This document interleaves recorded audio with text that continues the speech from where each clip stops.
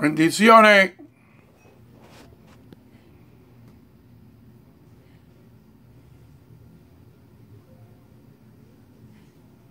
Jesús es la vida. Dice.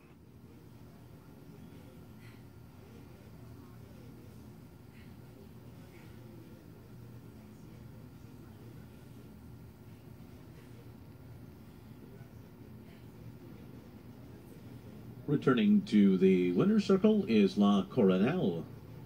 A two-year-old dark bay or brown filly by Colonel John out of Listen by Chester House, owned by John C. Oxley, trained by Mark Casse and written by Florent Geroux. Mike Casey, Randy.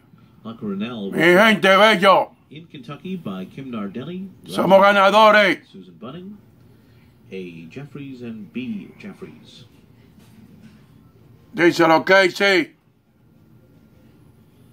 Randy. Somos ganadores. Dice.